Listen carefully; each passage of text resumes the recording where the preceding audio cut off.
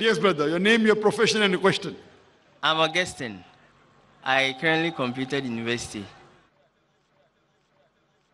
And my question is the explanation that Jesus did not die using the Noah scenario to explain, to me, it doesn't sound so convincing because a lot of people explain it in a different way too, to mean the death of Jesus and the resurrection of Jesus within that three day period.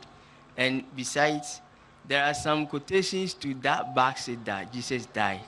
And another question is if Muslims believe in the prophets like Isaiah, Jeremiah, and the rest, because they also prophesy about the coming of the Messiah and the death of the Messiah. So if the Messiah did not die, then they told lies.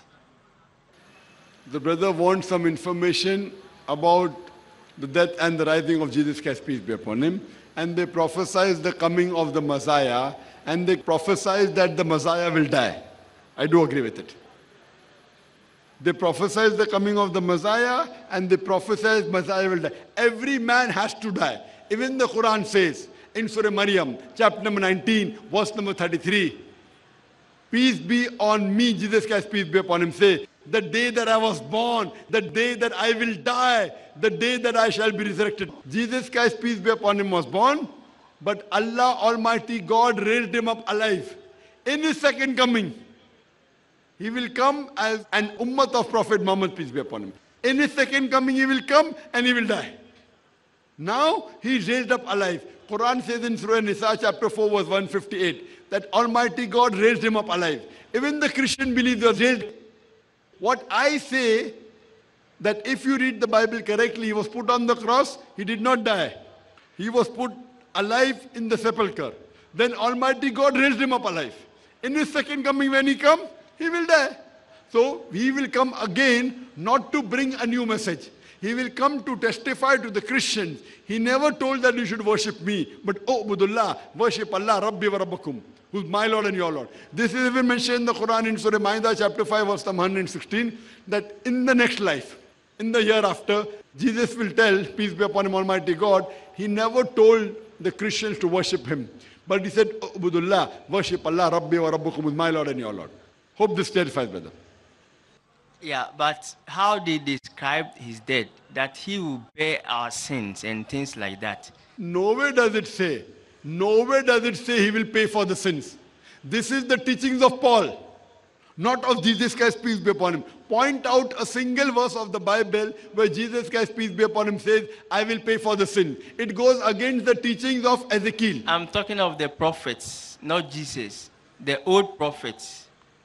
Old prophets? Yeah, you like have to I understand. If you read the Bible, the Bible says in the book of Ezekiel, chapter number 18, verse number 20, the soul that sins shall die. The father shall not bear the iniquity of the son, the son shall not bear the iniquity of the father. That means the father shall not bear the sins of the sons, the son shall not bear the sins of the father. Righteousness of the righteous shall be upon him, the wickedness of the wicked shall be upon him. But if the wicked turns, he shall not die. According to the Bible, sin cannot be inherited. Sin cannot be inherited. Nowhere did Jesus ever say that he will die for the sin of humankind.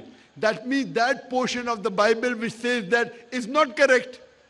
We are here to follow the teachings of Christ, not of the other people.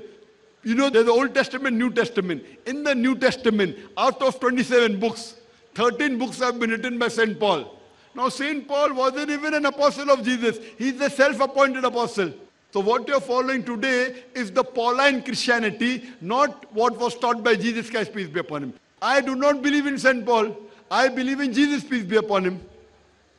I don't want to believe in the teachings of St. Paul. Is it clear? Yeah. We have to believe in the teachings of Jesus Christ, peace be upon him. Okay. Do you believe there's one God? I'm not done, please. You're not? Yeah. Do you believe Jesus is God? There's there's still something you need to clear here for me, please. No, but do you believe in Jesus as God or not? According to the Bible, it says so. Where does it say? point out a single unequivocal statement in the complete Bible where Jesus Christ, peace be upon him, himself says that I am God, or where he says, Worship me, I will accept Christianity.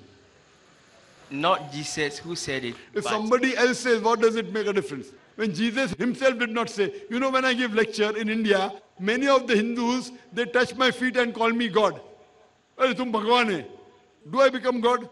You know, No. because I quote the Hindu scriptures, you know how I quote the Bible. Some of the Hindus touch my feet and they say, tum Bhagwan hai. Does it make me God? No. Same way, somebody But- else says Jesus is God, it doesn't make him God. Brother, do you believe Jesus is God? Peace be upon him. And about the Holy Spirit too. Brother, do you believe Jesus is God? Yes. You believe he's God? Yeah. Where did he say he was God? Church says. Yet to find quotations on that. Sorry? I don't memorize the quotations of it. But you know that it is mentioned in the Bible. Yes. Where? You do one thing, let the other people ask a question. By the time you search, you search in the index, where does Jesus say he God? You know there's an index. If you don't know, you look in the index or look in the. But my question is not about Jesus being God. Sorry? My question is not about Jesus being God or not. No, my question to you. You ask me so many questions. Now I'm asking you one question. Do you believe Jesus? It's not your question, it's my question. Because I love you, brother. I love you. I was told to come and ask questions, not to lecture, so I came with questions. Not No, no, to you can ask questions. Very good. Yeah. But even I'm asking you one question. I can ask you or not? Yes or no? After I finish mine, Okay. How many questions do you have more? one, Okay, yes, brother, one more. and it's about the Holy Spirit. What's your question about Holy Spirit? John 14, verse 26. It says emphatically that the Comforter is Eh, the Holy Spirit. But If it says that, that means there is a contradiction. You read in your Bible, open your Bible, Gospel of John, chapter number 16, verse number 7. Nevertheless, I tell you the truth. It is expedient for you that I go away. For if I go not, the Comforter shall not come. For if I depart, shall I send him? If it refers to the Comforter, the Comforter was already there before Jesus Christ, peace be upon him, came. I told that earlier. The Holy Spirit was there in the womb of Elizabeth. Brother, the Holy Spirit was there when Jesus Christ, peace be upon him, was being baptized. It's mentioned in the Gospel. So surely it cannot refer to the Holy Spirit. That means there's a contradiction in the Bible. Like how I told you in my lecture.